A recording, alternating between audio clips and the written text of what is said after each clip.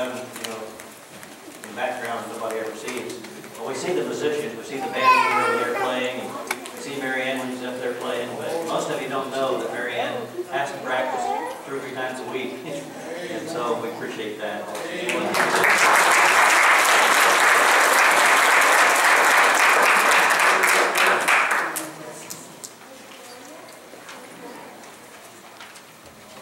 Sometimes people think that the church is kind of like a love boat. You know, you, you just come, you, you enjoy the ride, and you, you sit and you eat. And you sit and you eat. And you sit and eat. You go to the buffet, the midnight buffet. Church is not like that. It's not like that.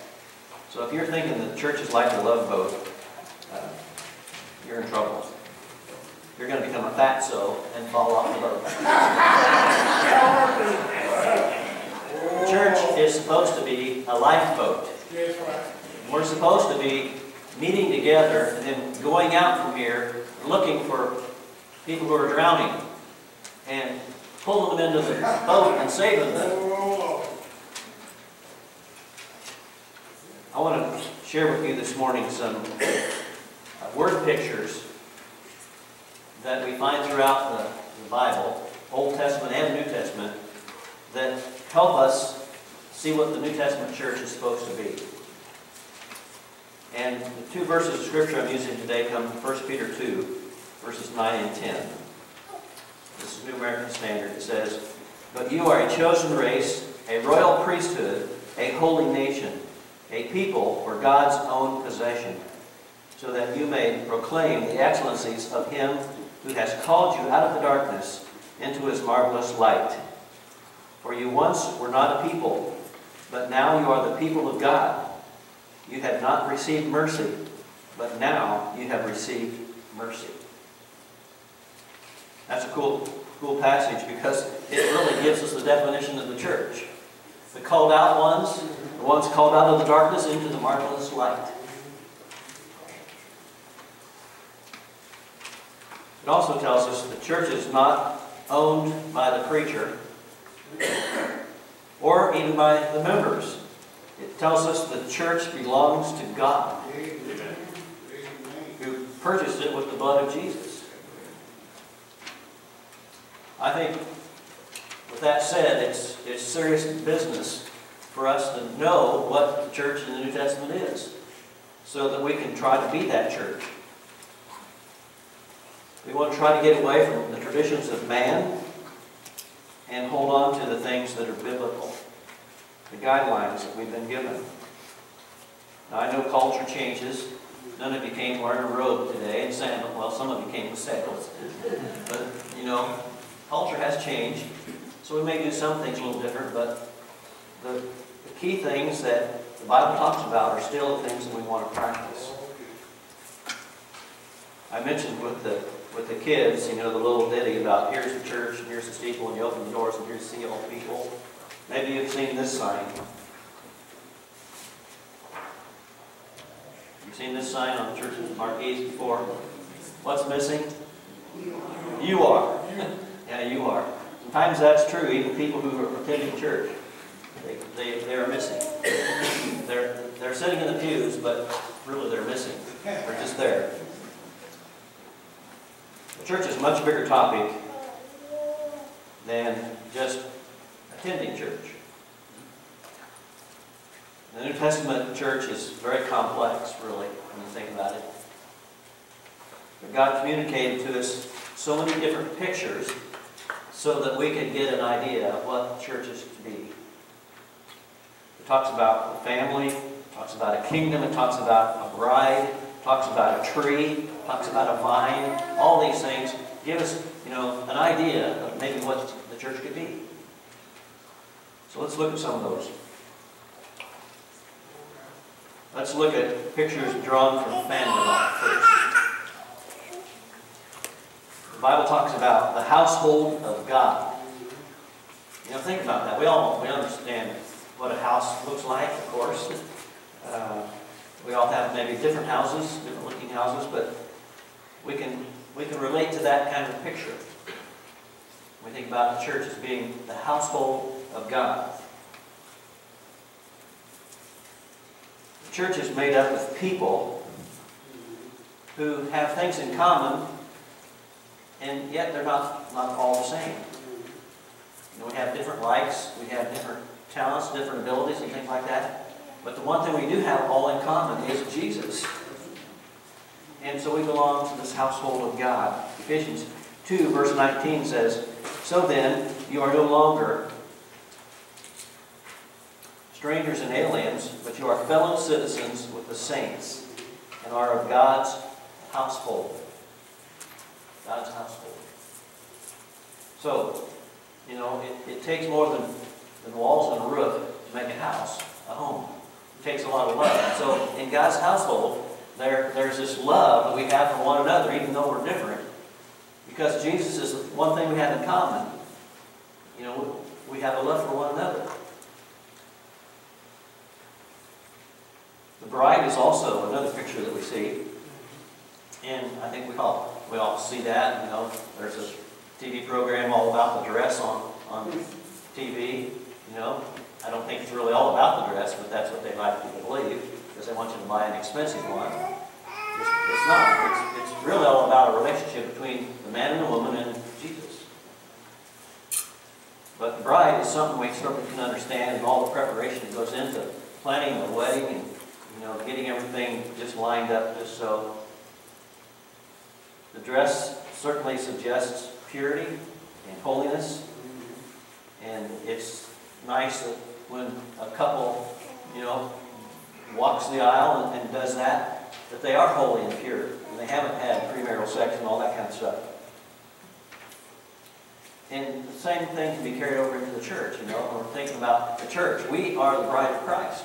We, we need to concentrate on, on being pure and holy, you know.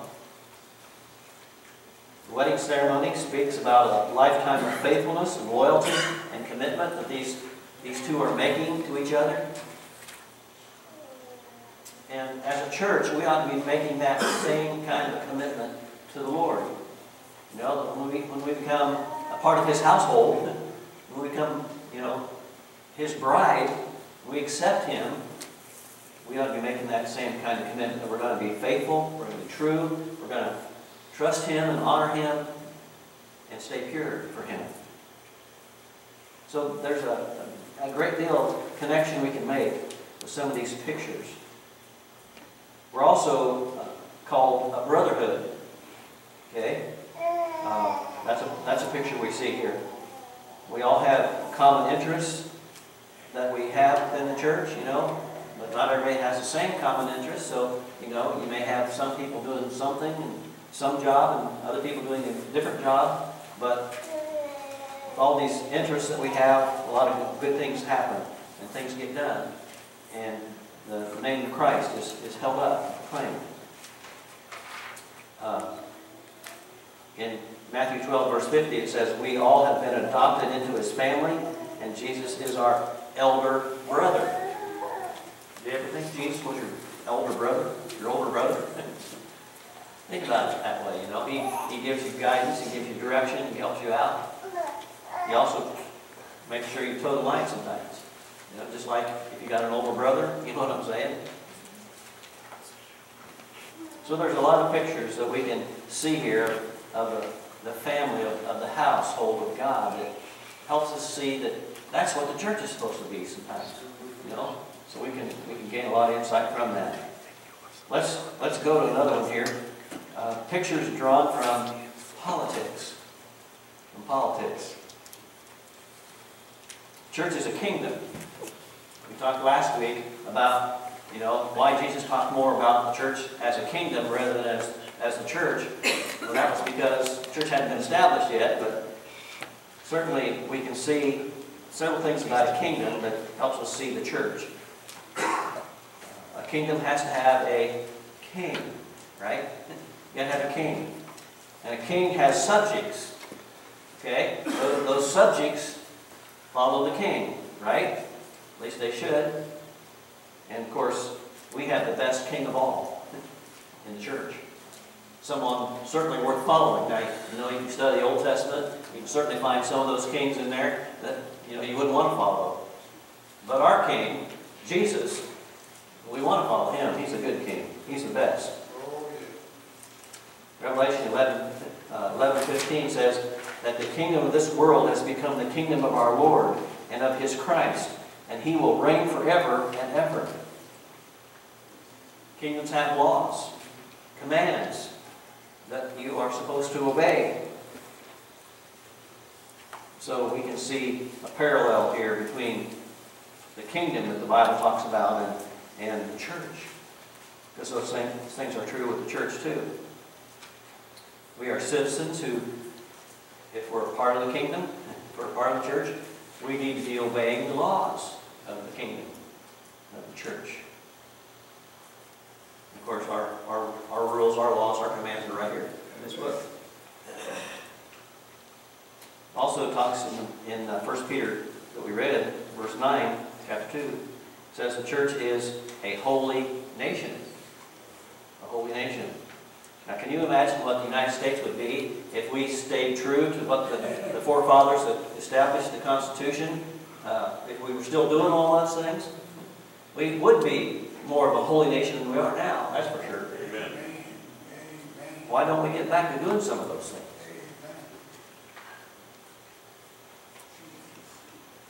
We ought to be uh, trying to become a holy nation that walks and talks. Instead of hiding under all the lies and things that are going on these days. The church is a holy nation.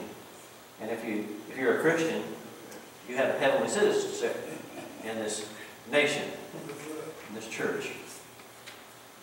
The Bible also talks about the church as being a community. A community. Uh, not too many of you took advantage of the parenting class that we had, but uh, it talked in there about how it, it takes a community to raise, raise a kid. You know, take parents, parents have to have the help of other people. And one of the most important uh, other people's is the church. You know, we want to help, we want to help raise kids to do the right things. We can do that as a church. You know, we, we can't raise kids from parents, but we can certainly support parents. We can certainly be there to help them raise their kids. We ought to do that. We ought to teach them the right way to go. You know? So, all the people that are living in a geographical area that make up a community, they do have a responsibility to one another. And that's true of us as a church. You know, we are a family. We are a community. And we need to help one another. We need to, need to encourage one another. And we come together to worship and to make each other better when we leave. When anyone had any need in the early church, those needs were taken care of. Now we don't do that so much anymore because the government has a welfare system and all that. But certainly as a church family, when we see someone hurting, we, we want to help them if we can. So there are several pictures we can see from, I hate to use the word politics, but it just seemed to fit here. So, you know, whether you're talking about a kingdom or a holy nation or just a geographical community, we can see some pictures there of the church. There's several pictures from the Old Testament I want, you to see. We're talking about a New Testament church here, of course, but the, two, the New Testament church was kind of a carryover from things that were happening in the Old Testament. And the first Christians in the, in the New Testament church were Jews who certainly knew the Old Testament, so there are some things I think we can understand. One of the first pictures that I can see from the Old Testament is the role of the priest. How, you know, the priest, he would be the one who was the go-between God and the people. And he helped uh, make the sacrifices, he helped offer the prayers, he, he did all those things. The New Testament says that we all are priests if we're, Christ, if we're a Christian. So in, in a sense, we all have that responsibility of the Old Testament priest. we can go to God, God ourselves directly. We don't have to have a middleman. So the church cuts out the middleman, the priest, because we all are priests. Peter used uh, this picture in 1 Peter 2 9. He says, The Christians that make up the New Testament are all priests. That's the priesthood of all believers that we talk about sometimes in the church. We all come to church and we, we offer our prayers, we offer our worship, we offer our sacrifices to God ourselves. Another picture in the Old Testament is that we are called the people of God. People of God. We're called the people for God's own possession here in, in 1 Peter 2 9. Another good translation is a people peculiarly God's. I kind of like that. We are peculiar. Most of us, as I look around the room, are peculiar. And we are peculiarly God's. Some other pictures from the Old Testament that we see the New Testament church being is the assembly of God. We have all assembled here today. We think of how the, the, the 12 tribes assembled around the tabernacle as it was put up in the wilderness as they were traveling from place to place. And they had their spots, they had their places, you know. And, you know, I don't know if they got upset if another tribe camped in their camp spot, like we do sometimes when somebody's sitting in our seat, like somebody up here is. Glad to see you up front today, though, by the way. so the assembly is, is another picture. You know, we, we come, we assemble, and then we depart to serve. Another picture is the Israel of God. Paul, in Galatians 6.18, uses those words, talking of the church being the Israel of God. And I think what he was taught, trying to show us there was that we are a continuation of God's chosen people, church. We are God's chosen people now. Sometimes we don't act like it, but we are. You know, we wear the name Christian, we ought to act like it. Sometimes we don't. And then there's a third picture I want to mention. Well, there's many more, but this is the only the three that I'm mentioning. The third one is Abraham's seed. Paul uses that in Romans chapter 9 and also Galatians chapter 3 to show that we, even though we aren't Jewish, we become Abraham's seed by faith. And so we're in, the, in that line of Abraham, even though we aren't Jewish, because we have been, by faith, adopted and, and grafted into the tree, you know, that grafted branch that uh, becomes Abraham's seed. So there's a lot of Old Testament pictures that can also show us this is what the church is supposed to look like. And we can know these things. But let's, let's look here, uh, one last category, and that is word pictures we see in the New Testament of what the church can be. One of my favorites is Christ's body. You know, we, we are Christ's body. and I think that was one of Paul's favorite phrases he used about the church. We know several things about Christ's body, who we're talking about ourselves here.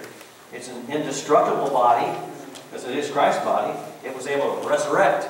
And we know when we go down into the water, grave of baptism, we rise up to walk in newness of life, and so that we can be resurrected just like he was.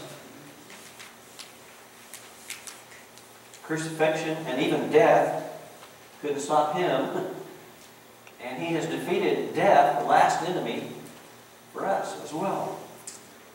And I like the way Matthew talks about it. It says, not even the gates of hell are able to stop the church or overpower the church. So don't worry about the church ever going out of existence, because it won't. As long as we're faithful to the Lord, He's going to see the church is always here always exists. Another New Testament picture is that of the mature man. Paul talks about, you know, how when we're first become a Christian, we need the, the milk of the Word, but as we mature, we grow, and we, we need solid food, we need the meat, until we progress and become that mature man. Ephesians 4 talks about this, about we becoming that mature person in Christ.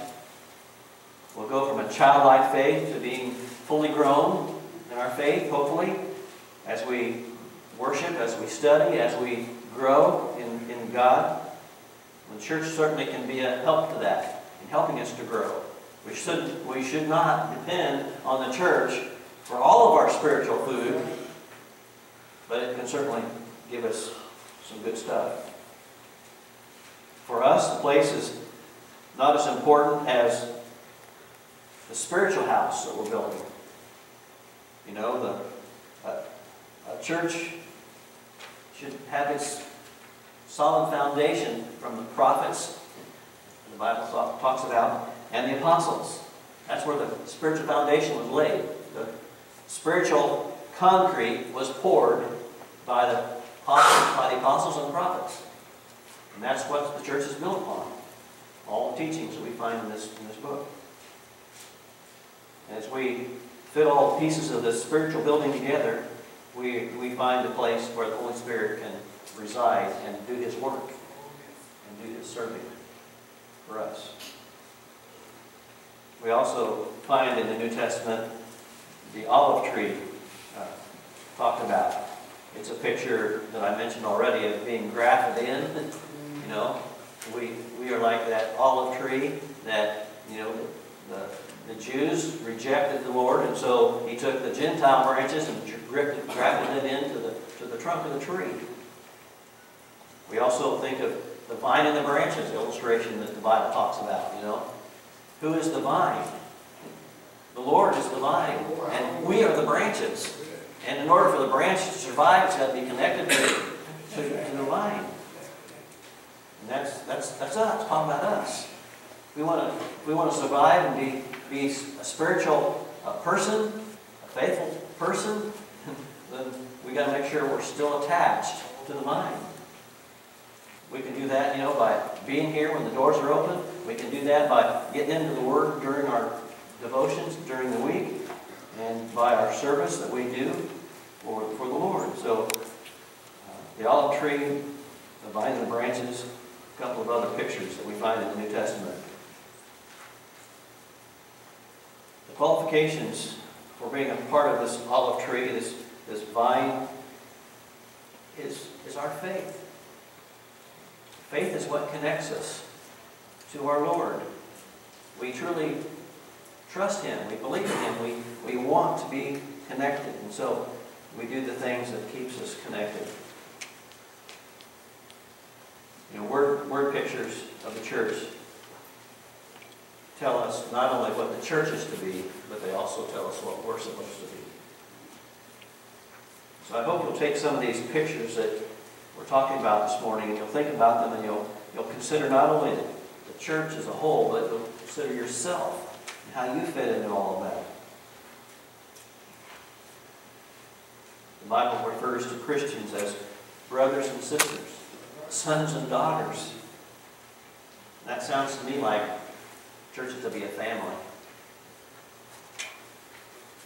Christians are described as citizens, as, as subjects, as servants, as soldiers, as ambassadors, I think we see a comparison there to the church being a government or a kingdom or, you know, if you want to use the word politics, you can. We have responsibilities as citizens, as, you know, as subjects, as servants, soldiers and ambassadors. And so we ought to make sure we fulfill our responsibilities. Christians are described in the New Testament as, as stones, living stones, or, or branches. We see our duties and our nature being described there. You know, what kind of branch are you? What kind of a stone are you? What are you doing for the kingdom, for the church? The Bible talks about Christians as being strangers and aliens and pilgrims. You realize that those terms that this world is only a temporary place to, to live. We have, we're not home yet. We, we have a better place that we're going. We have a heavenly home, a safe haven. Pictures like the household of God, the bride of Christ, brotherhood, kingdom, holy nation, community, royal priesthood, people of Christ's body, God, assembly of God, Israel of God, seed of Abraham, mature man, building of God, olive tree, vine and branches. All these pictures give us a good idea of what the New Testament church is supposed to be. What it's supposed to look like. There's no single word or combination of even a few words that really gives us a good picture of what the church should be in the New Testament. And so we, we gather all these pictures, all these words, and put them together, and I think we, we get a better idea of what the church should look like and what it should be. I think we would all agree that the church today is a far cry from the church that we find in the New Testament.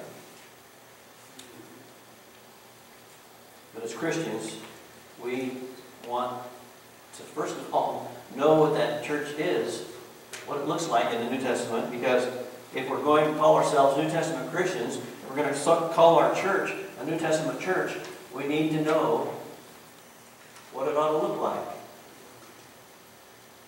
and what it ought to be doing.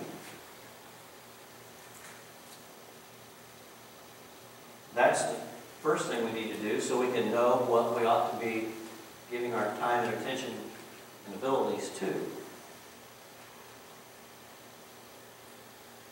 Those first Christians, they studied the Bible. They called it the Apostles' Doctrine. They fellowshipped.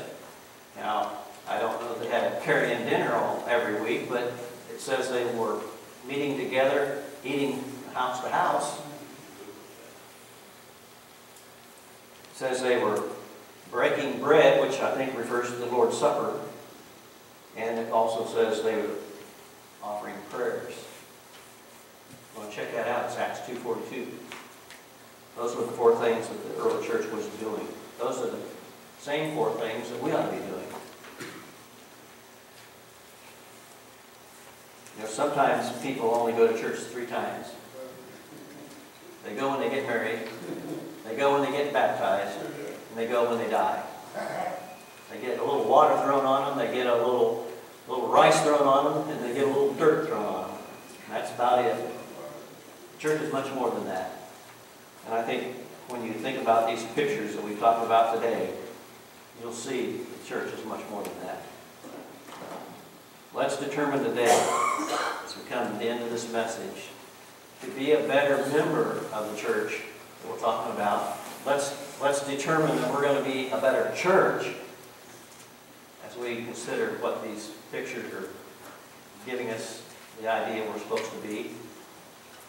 And hopefully then, we will be a better New Testament church. We're going to sing an invitation hymn today, and it's, it's an opportunity for you to make a decision about the kind of church member you are. It's an opportunity for you to decide, you know, what kind of church we want to be.